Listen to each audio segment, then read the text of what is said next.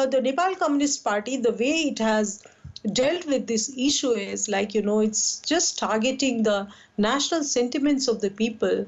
And and they like they they have they had become so emotional uh, during you know or before this uh, uh, you know passes of the constitution amendment that you know the reasonable people the rational people they took a back seat because it was so difficult if you go through the social media like you know how to react about the issue. So emotions uh, triggered by uh, you know like uh, uh, nepal communist party for this passes of this uh, uh, new map has played a vital role.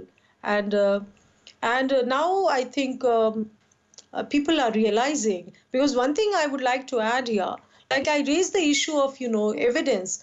And uh, the government got it passed and after three days only the government constituted uh, a nine members you know experts committee to find the evidence of uh, the new of you know the the border of uh, uh, the new map. So now people are realizing that definitely something has gone wrong. Uh, but still you know the common people yes yeah so we want this issue to be, to be resolved. So let me see. It's very, I mean, tricky and very complex at this stage that how do we move ahead?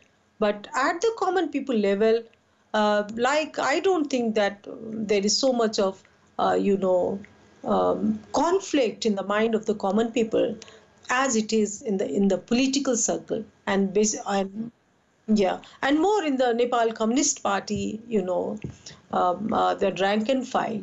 So uh, let's see. We are we are just uh, waiting and hoping for good time to come.